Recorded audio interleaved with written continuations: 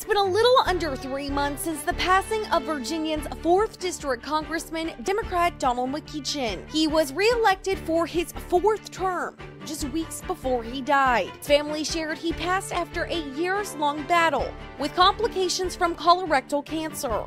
On Tuesday, State Senator Jennifer McClellan will face Leon Benjamin and a special election to fill the congressional seat. Both candidates have a busy weekend making their final push to connect with voters. Democrat Jennifer McClellan spent Saturday going door to door of homes and businesses with labor leaders, community members, and lawmakers like Senator Tim Kaine. I'm just very excited. There's a lot of enthusiasm, and people are just ready to make history. If elected, McClellan will be the first black woman to represent Virginia in Congress. In December, she overwhelmingly won the Democrat Firehouse primary.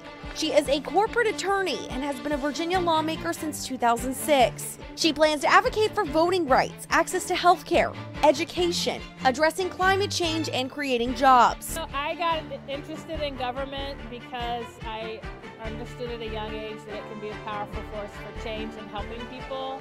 Um, and I've spent my life doing that and am ready to do it on a bigger level and help more people. Republican Leon Benjamin also spent Saturday door knocking with community members, as well as holding a Get Out the Vote rally Saturday night. I'm feeling great, and uh, this is what it's all about.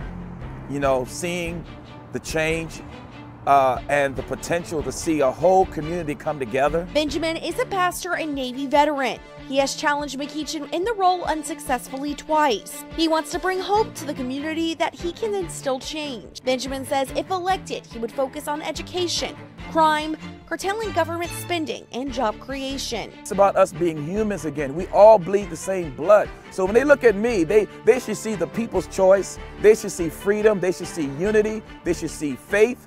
They should see, see love. Early voting for this race is now closed.